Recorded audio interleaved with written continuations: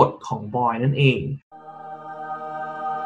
สวัสดีน้องๆทุกคนนะครับ วันนี้พี่ตันเองนะฮะก็จะพูดเกี่ยวกับเรื่องของกฎของบอยนั่นเอง โดยกฎของบอยนะลูกหนูจำไว้อย่างนะครับว่ากฎของบอยเนี่ยจะพูดถึงเกี่ยวกับเรื่องของเทมคงที่ และก็มวลคงที่โอเคไหมเขาจะทำการทดลองที่เทมคงที่แล้วก็มวลคงที่ก็คือที่อุณหภูมิเท่ากันสารตัวเดียวกัน แต่เขามีการเปลี่ยนแปลงในเรื่องของความดันและปริมาตร ดังนั้นจึงทำให้กฎของบอยนั้นได้สูตรออกมาคือ p1 v1 เท่ากับ p2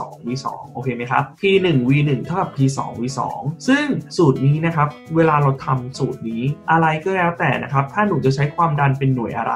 ความดันหน่วยทางซ้ายและหน่วยทางขวาต้องเป็นเหมือนกัน อย่างเช่น ถ้าทางซ้ายหนูจะใช้เป็น atm ทางขวาก็ต้องเป็น atm ถ้าทางซ้ายหนูจะใช้เป็นมิลลิเมตรประหลอด ทางขวาก็ต้องเป็นมิลลิเมตรประหลอดแค่นั้นเองเช่นเช่นเดียวกันกับปริมาตรเหมือนกันครับ ถ้าหนูทางซ้ายหนูใช้เป็น cm กำลังสามทางขวาหนูก็ต้องใช้เป็น cm กำลังสามโอเคไหมถ้าทางซ้ายหนูใช้เป็นลิตรทางขวาหนูก็ใช้เป็นลิตรแค่นั้นเองไม่มีอะไรยากโอเคไหมเป็นการเปรียบเทียบกันระหว่าง 2 เหตุการณ์นะครับคือเหตุการณ์ก่อนและเหตุการณ์หลัง ถ้างงอยู่เดี๋ยวมาดูที่โจทย์นะครับแล้วเดี๋ยวดูจะชัดเจนมากขึ้น อย่างเช่นนะครับพี่สมมติพี่ให้โจทย์มาบอกว่าถังใบหนึ่งนะครับมีความมาคือ200มิลลิเมตรประหลอดนะครับแล้วก็บอกว่าปริมาตรเนี่ยคือ 400 cm กำลังสามเขาบอกว่าถ้าเปิดถังออกนะครับปรากฏว่าปริมาตรเนี่ยขยายจาก 400เนี่ยกลายเป็น 2,000 เห็นไหมมันมีเหตุการณ์หนึ่งกับอีกเหตุการณ์หนึ่งดังนั้นนะครับเราจึงเขียนเลยครับเป็น p1 v1 ลูกเท่ากับอะไรครับ p2 v2 เหตุการณ์แรกคืออะไรตอนที่ความดัน 200มิลลิลิตรหลอดกับปริมาตร 400 ถูกต้องไหมเราก็แทนค่าไปเลยครับ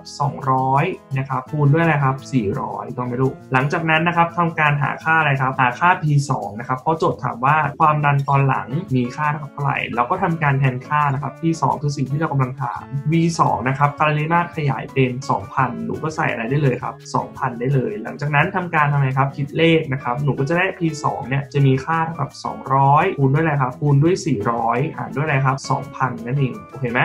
200 คูณด้วย 400 หารด้วย 2,000 หลังจากนั้นเป็นไงครับ คิดเลขทำธรรมดาเลย ถูกต้องไหมลูกคำตอบนะครับก็จะออกมาเป็น 40 นั่นเอง โอเคปะความดันที่ 2 ก็จะเป็น 40 ถามว่าหน่วยอะไร หน่วยหนูก็ดูจากที่หนูหยิบมา หน่วยตอนแรกหนูหยิบมาเป็นมิลลิเมตรประหลอด ดังนั้นหน่วย P2 ตัวนี้ก็ต้องเป็น 40มิลลิเมตรประหลอดเช่นเดียวกันลูก โอเคไหมครับ เพราะฉะนั้นไม่ยากเลยเนาะลองกลับไปฝึกดูนะครับพี่คิดว่าน้องทำได้ทุกคนครับ เพราะฉะนั้นสำหรับวันนี้นะคะเคมีจะไม่ยากเท่าน้อง เปิดใจนะครับแล้วไว้พบกันนะ